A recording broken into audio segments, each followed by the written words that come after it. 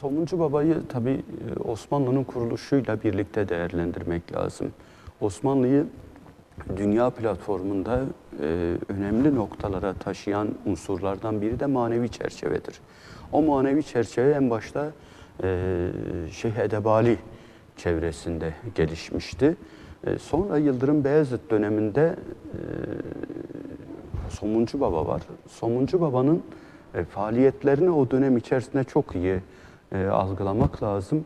E, Mustafa Necati Sepetçioğlu bu atlı geçide gider romanında Somuncu Baba'dan bahsediyor. Gençleri e, yeteneklerine göre kendi çevresinde toplayan ve topluma manevi bir çerçeve çizmeye hazırlanan, daha doğrusu çizen bir veli, bir seyit e, görünümünde anlatıyorsun.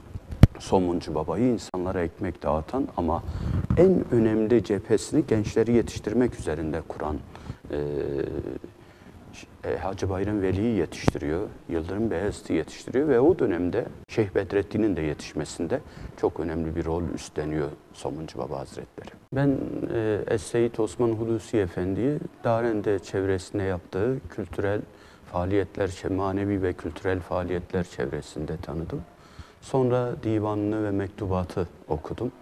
Divanı okuyunca e, seyit bir insanın e, divan formatında özellikle e, Şeyh Galip, Fuzuli, Yunus Emre e, hatta Mevlana formatında insanlara yön gösterme ve bir manevi lider olma e, yolunda bir ömür harcadığını gördüm. Ve bu çerçevede Darende civarında bir dostluk e, bir değerler platformu oluşturmaya gayret ettiğini gördüm.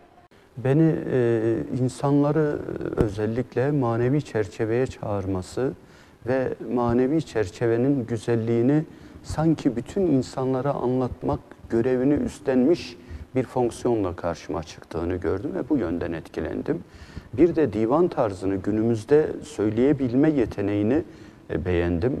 E, çünkü divan şiiri 1800'lü yılların sonunda tükenmişti. E, bin, 2000'li yılların neredeyse başına kadar yani 1990'lara kadar divan şiirini sürdürebilme yeteneği beni biraz e, heyecanlandırdı ve bunu da çok güzel çerçevede gerçekleştirdiğini düşündüm. Sanıyorum çok iyi bir Arapça ve Farsça bilgisi. Bunun dışında iyi bir e, aruz ve şiir bilgisi çerçevesinde manevi çerçeveyi o şiir platformunun içerisine yerleştirdiğini gördüm. Yani diyebiliriz ki son mutasavvıflarımızdan biridir e, Es-Seyyid Osman Hulusi Efendi.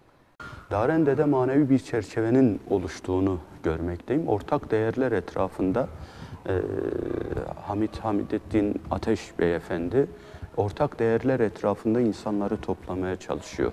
Bu özellikle benim açımdan şu noktada önemli. E, toplum 1980 sonrasında bireysel dünyanın içerisinde, herkes kendi bireysel dünyasının içerisinde yoğrulmuşken insanları ortak değerler etrafında toplamak ülkemiz açısından, toplumumuz açısından zorunlu bir hale geldi.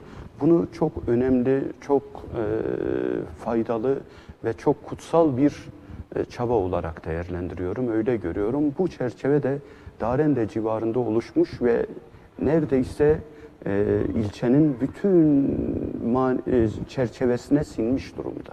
Bunu hissettim Darende'de.